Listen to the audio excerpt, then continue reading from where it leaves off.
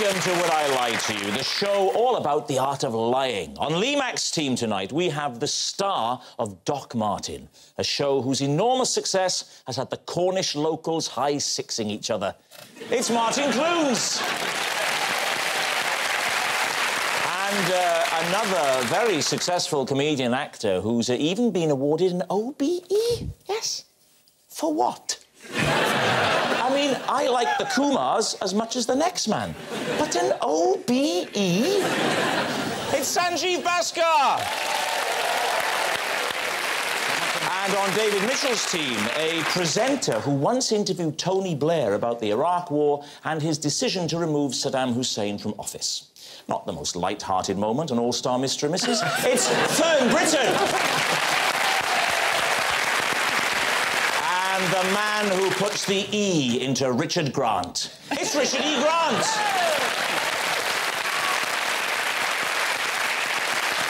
Right, let's get started then with uh, round one. It's Home Truths, where our panellists each read out a statement from the card in front of them. Now, to make things harder, they've never seen the card before, so they've no idea what they'll be faced with. It's up to the opposing team to separate the truth from the lies. And Sanjeev Oh. is first up.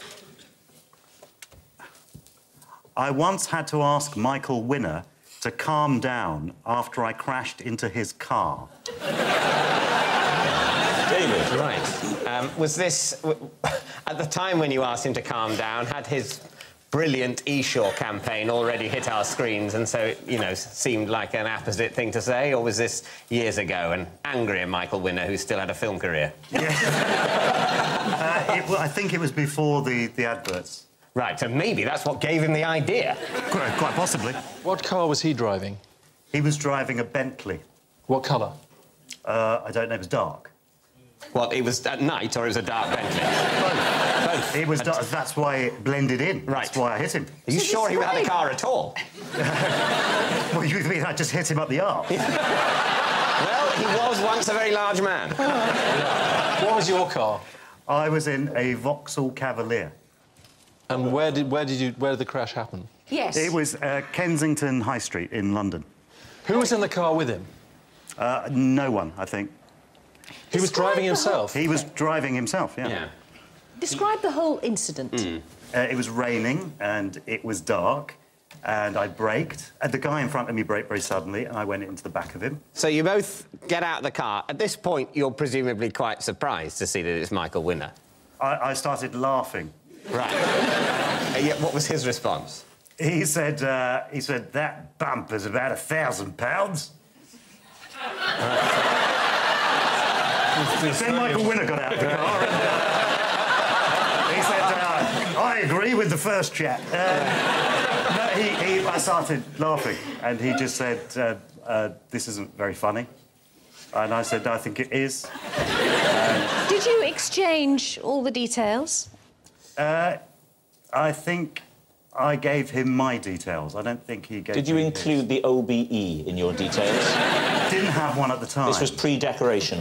Was it this incident that led to your being awarded the OBE? because I think you should have got a knighthood. Well, You have to kill him for that. I'm surprised he didn't have a passenger with him because he's very friendly with Michael Caine. I was driving down the road when we felt a prang in the arse. I looked around. Who do you bloody think it was? Only Sanjeev Bhaskar, pre-decoration. what do you think, David's team? Mm, Michael Winner does have a driver. Always talks about the driver in his reviews. Well, you think it's true. Well, I'm so gullible. I think yes. Oh, did it? Oh, You really? think it's well, a it lie? happened. A lie. There's something about that he would have a chauffeur or someone else in the car. So, on the basis I have the casting vote, I'm mm-hmm. going to say lie. saying that it's a lie. OK. Sanjeev Bhaskar, OBE. Are you telling the truth or telling a lie? I'm telling the truth.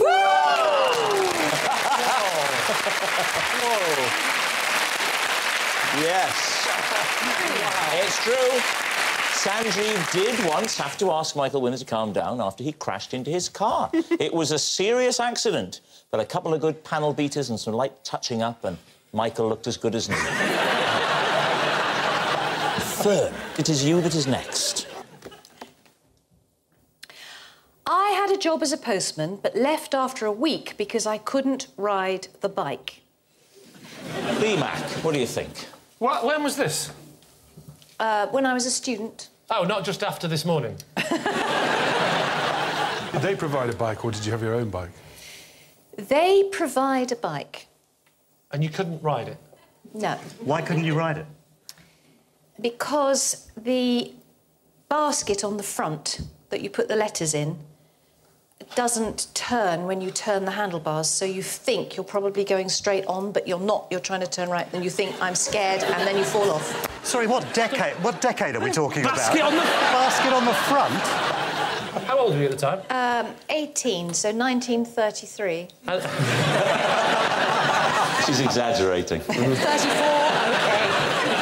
My wife has a, has a bike with a high basket at the front. Sometimes I'll pop up, you know. I might pop up into the basket, you know. I'm doing Ronnie Corbett. I might pop up and admire the view. As you were. So you lasted a week. good. You lasted. Don't encourage him.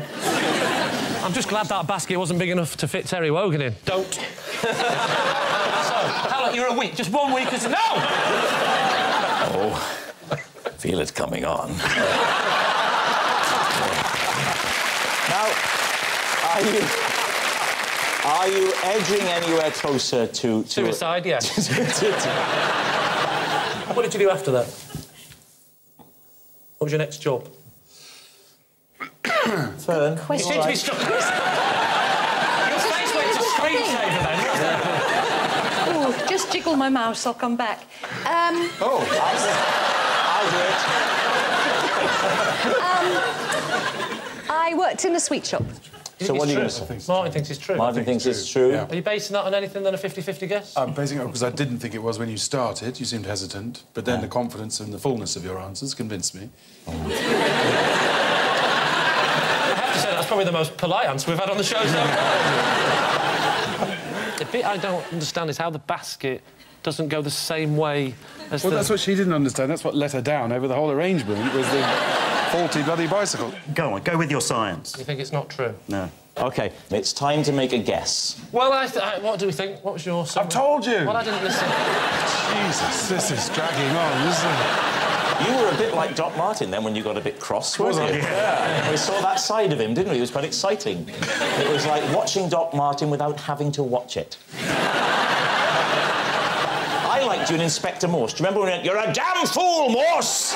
Do you remember that? I also called him Cheese Inspector, but I said it really quickly, so and they left it in. Cheese Inspector? I used to do uh, requests for friends when I got a job. I called Lovejoy Love Juice as well. Did you? Love Really? Let's take a guess then. I think it's true. You think it's true? Yeah, I don't think it's true. I have to make the decision then, so I'll go with Sanjeev and say that that is not true. Saying it's not true, saying it's a lie. OK, so, Fern Britton, were you telling the truth or were you telling a lie? It's true. Ah.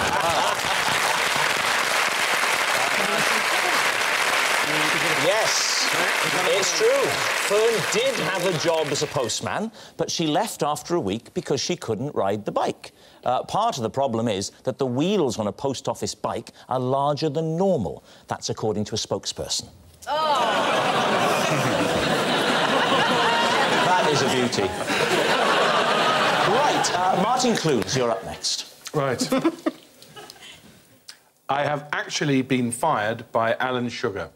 Oh, there we are. Right, OK. Interesting. So why were you working for Alan Sugar? Uh, I wasn't directly working for him. I was working for a catering company uh, when I first left drama school, like a lot of good drama students, black trousers, white shirt, handing round the drinks and the canapes. And I turned too quickly and knocked three glasses of red wine, to, I remember everything, two glasses of white wine and four canapes down a lady's top.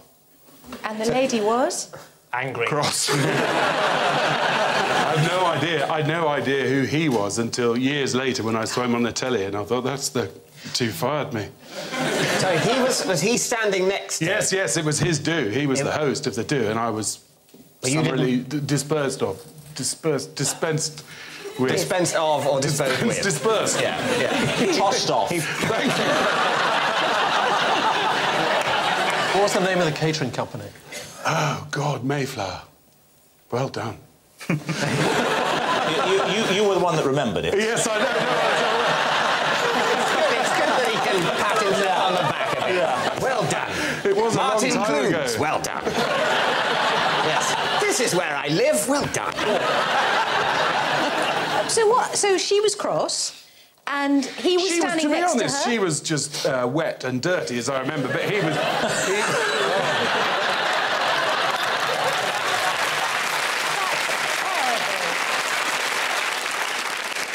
No, she was just busy with dealing with, you know, worrying about her clothes, and his his his summary firing of me was a sort of display for her benefit as much as So anything. he was right there, and he did He it was yes, himself. yes, yes, yes, yes. And what he use his did he He's a lovely man. You fight. Did he do that? Uh, Like yeah, thinking yeah. of Rocky Balboa, I think. isn't it? You fired. You fired. You, oh, you, you fired, Edwin. You fired. Please, that's a very good Rocky Balboa, but doesn't he really sound a bit more like this? Hello, very much. Hello, time. Hello, very, very sorry. Very much. Hello, hello, what it is. What did he actually say? To Oh God, I can't remember. There was anger, there was shouting. I d he didn't swear, but he um, he made me look stupid. But cunningly, I already looked stupid. so it, it didn't really hurt. Right, David. Richard, what's your view? Mayflower came so swiftly, it was brilliant. I think Mayflower sounds very much like a sort of outside catering company. But do you think that if you're the guest who's been spilt all over, wet and dirty, that he would have turned round and said, You're fired? I, well, I, it's a very nasty thing to do because it's only an accident. When you were 20. you were full of apologies at Of this Of course, I was full of apologies. I had some spillage on me, but I didn't, you know, bang on Didn't about blame her. that. that was, that was probably a wise course not to go. What are you doing, you stupid uh, bitch? Standing right in my way. He's telling the truth. You think he's telling the truth? I think he is telling the truth. What but he is a brilliant actor. Yeah. Thank Yeah. you. Well, he's you an are. actor. I mean, with the greatest respect, we're not talking about Robert De Niro, are we? it's Martin Clunes. I mean, Is he going to do Robert De Niro now? I can't do him. Um, Go on, have a stab. Have I got Pacino for you? No, I said No, Robert we De said Niro. Robert De Niro. Come on, cocky.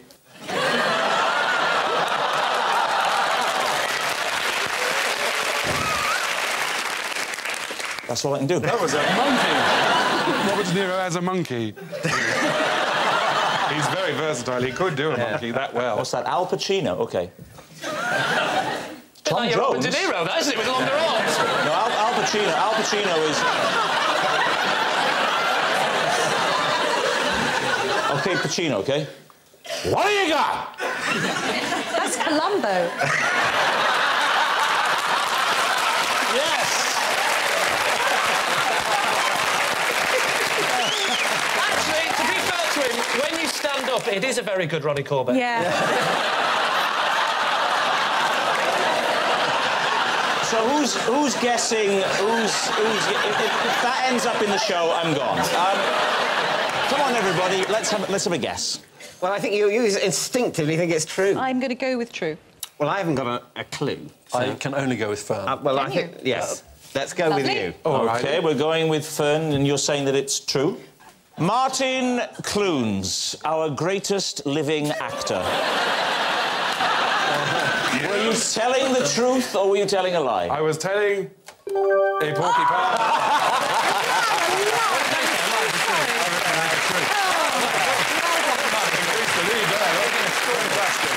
Yes, Martin was telling a lie, and, and why, why should we be surprised? He is a wonderful actor.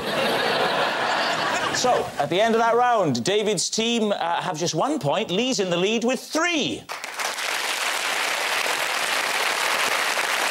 Our next round is called This Is My, where we bring on a mystery guest who has a close connection to one of our panellists. This week, each of David's team will claim it's them that has the genuine connection to the guest, and it's up to Lee's team to spot who's telling the truth. So please welcome this week's special guest, Ken.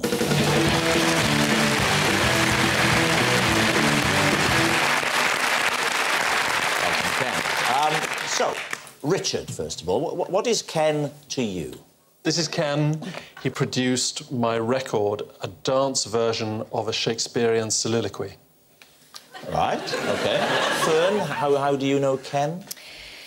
This is Ken, and he and I are part of the same Morris dancing troupe. Right. Finally, David, what is your connection to Ken? Uh, this is Ken, and Ken drives a steam engine and recently let me ride in the cab with him.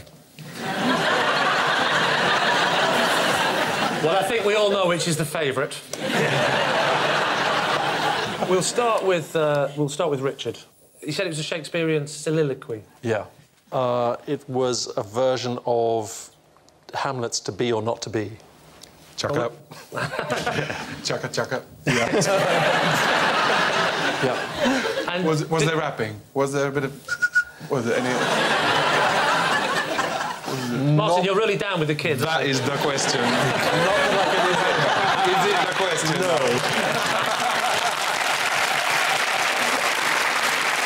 Did you, did you keep with the original or did you change the words? No, the words were as as is. As is. Yeah. How did it go? Can you do a bit?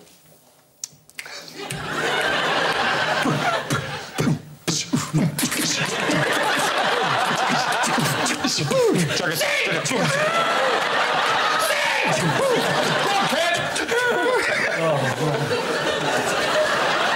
What sort of music was it? Was it was it was it lutes and you know Shakespearean styly, or was there was it something more contemporary? perhaps Was it reggae that lutes and It harps and ting? It was- was it It was garage and hip hop. Is it? together. Is it though? for real? Yeah, for real, for real. Well, there's certainly no doubting the hip hop credentials of Lee's team. And how did Ken convince you that that was a good idea? Uh, he asked me. Is that all it takes for you, Richard? Yeah. How do you think I'm here?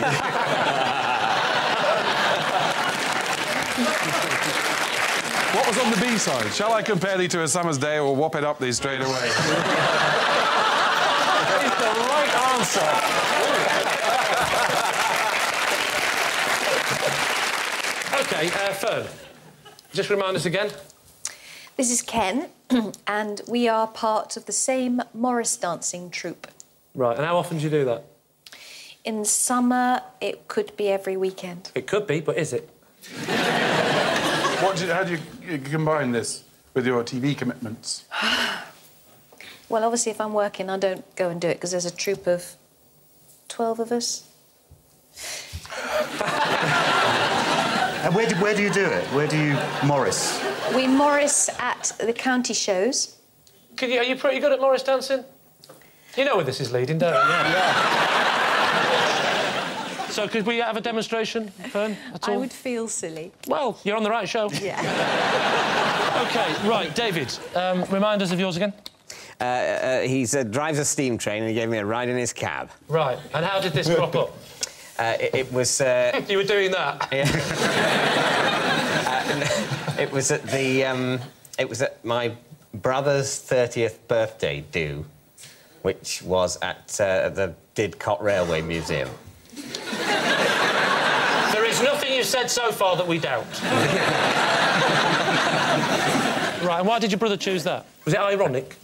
I think there was elements of irony and elements of genuine enjoyment. Very much like this show. How far did you go? You can't, you can't go anywhere. It's a museum. Oh, it's an can go- internal journey, You is can it? go sort of, sort of a couple of hundred yards, stop, a couple hundred yards back. And this is all inter- in, within the building. No, no, no. It's out, outdoors, but oh, right. within the property. It doesn't. You don't access the national network because you just you, you just get in the way of the younger trains. They're in such a terrible hurry. Oh dear, oh dear, says the old steam chain. Why is everyone in such a rush? It's because the network's so terribly underfunded. Say the trucks. Who's this coming through? It's a young engine. Get out of my way, David. I've got important letters to deliver. That engine's very angry, said David Mitchell. Ah.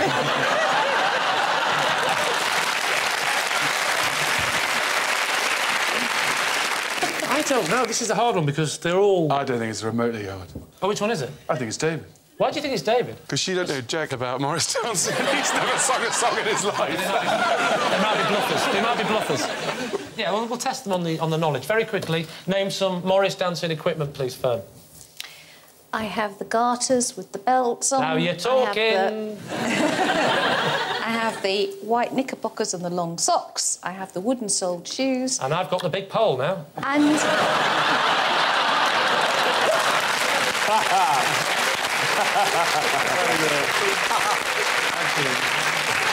Now let's look at Ken. Hmm. Does Ken look like a Morris dancer? Yes or no? He sort of does. He does, yeah. He does. Does he look like he could drive a, a steam train? That's a definite big yes. Isn't Yeah. it? Does he look like a record producer? Not today. So what, so who are you going for? What do you think? Well, it's not Richard. There's no conviction in what he's saying. He's no conviction in the Spice Girls movie, but he did that. See, I can't, I, can't, I can't see anything but a Morris dancer when I look at him So now. you're thinking it's Fern? I am increasing. You're See, thinking um, it's... if we could get a look at his hands, I'm sure we could see if he was. a Would you like to driver. see Ken's hands? Yes. Oh, look out, the doctor's in. There we go. There he comes. He's a record producer. Is he? what? Are they, are they smooth? Right, is that your final answer? They're not manual labourers' hands. So what is he? Well, I'll go with uh, Dr. Martin. Oh God, no, don't, not me. It's a Morris dancer. Then. You think it's Fern? Yeah, let's you go think with it's... Stern now. Well, then I'm going to have to go with the team say it's Fern. You're But saying it's Fern. It Yeah. goes Think so, against yes. all my better judgment. All right, OK, Ken, would you please reveal your true identity? Yes, I'm Ken, and I produced a record with Richard E. Grant. Yes, Ken produced Richard's record, a dance version of a Shakespeare soliloquy. And as luck would have it, we've got a clip. Whether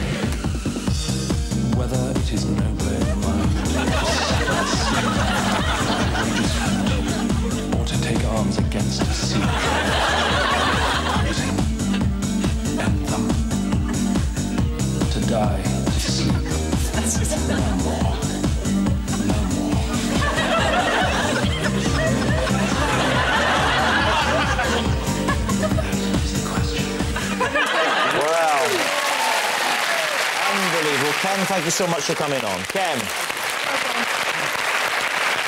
Wow.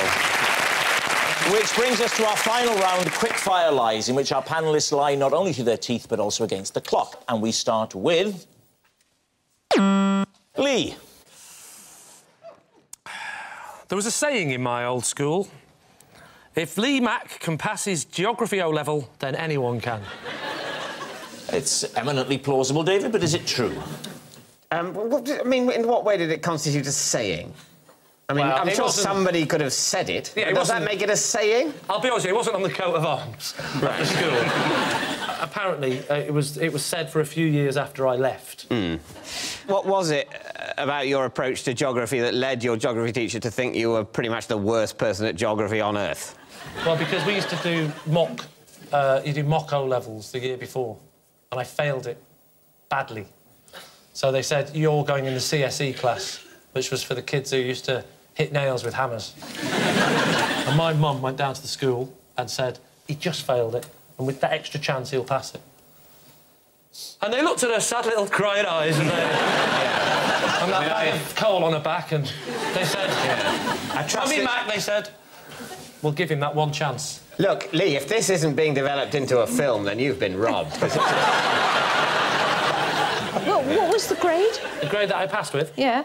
C. So if you had Oh, stayed yes, in that the... is a grade. Yes. yes. Listen, this is important. Right. Yes. I doubt that, but carry on. No wonder you're single.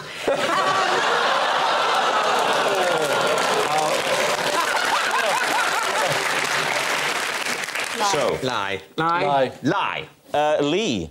Lie Lee? What? No, that's the name of your Vietnamese bride. who, who even who even as I speak is at home right now banging against the inside door of the airing cupboard. I'll be home soon, my sweet. Lee, lie? It is, in fact, true. Ah, true. Next. David Mitchell. Here we go. I, of course, got a grade A degree in geography. What did you say? Uh, you know what I said. I said it wrong. Just read it out. For six months, I wrote horoscopes for a women's magazine. There we are. Please. Right. What was the women's magazine? Got him at hurdle number one. Top Sante. What? what women's magazine is that? That's a, mag- that's a magazine, the definitely. Have you heard of Top I, Sunset? I, no, is that I have. Christmas mag? What is Have you it? not heard of it? Top Have you heard of it, Richard? No. Have you, Have you heard of it, Oh, yes. There we are, thank Yes. goodness. We've not heard of it, have we? If you'd have said, Oh, it's not aimed at you, is it? Frankly. Well, it depends how annoying he's being.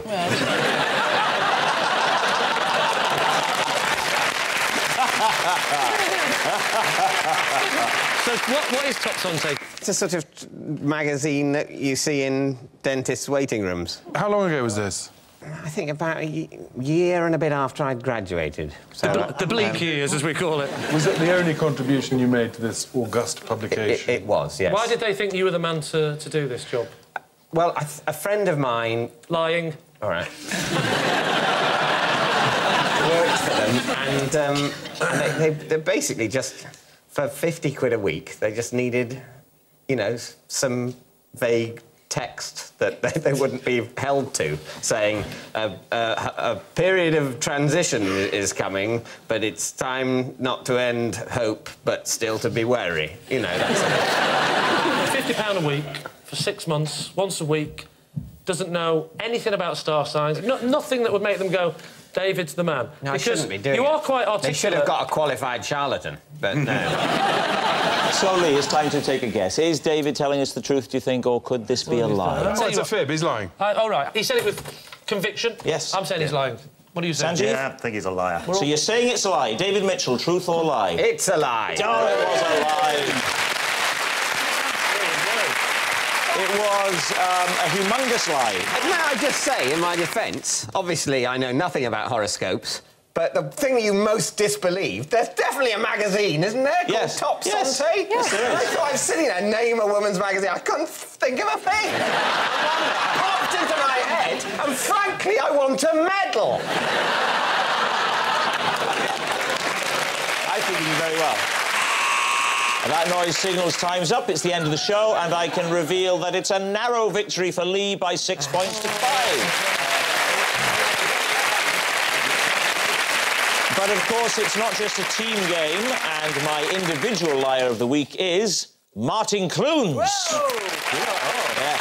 Martin Clunes, who uh, I'm also starting to think isn't actually a real doctor, and perhaps I shouldn't have let him examine my testicles before the show. Goodbye.